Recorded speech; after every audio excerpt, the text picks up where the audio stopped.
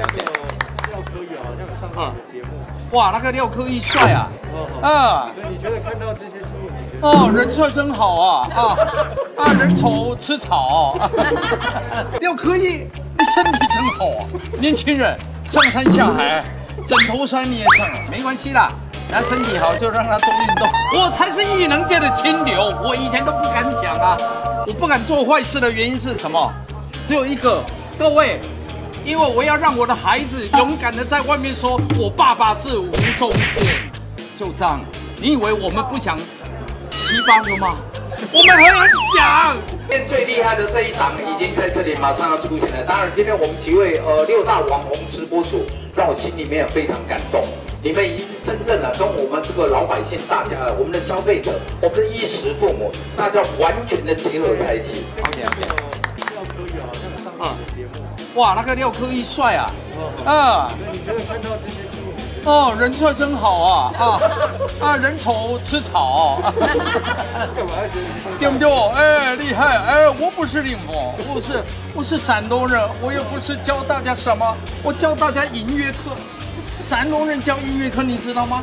就教 A 大调、B 大调，还有教哎，还有教人家 C 大调。哎，我最喜欢都是西大调。那你觉得你看他的新闻还有什么想法？啊？你觉得他还还可以再演一圈？哦，呃，廖科廖廖什么？廖科一哦，廖廖廖科义的，廖科一，你身体真好啊！年轻人上山下海，枕头山你也上了啊？他结婚了吗？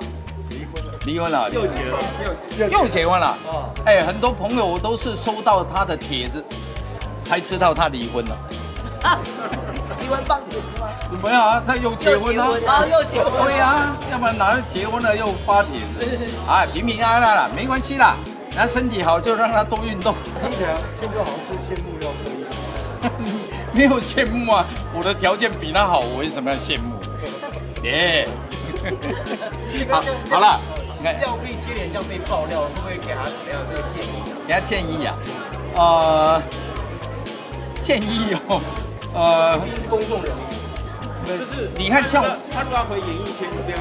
像像我一直都没出事的原因，各位，宪哥今年呢、已经年事过六，但有没有觉得我才是艺能界的清流？我以前都不敢讲啊，我不敢做坏事的原因是什么？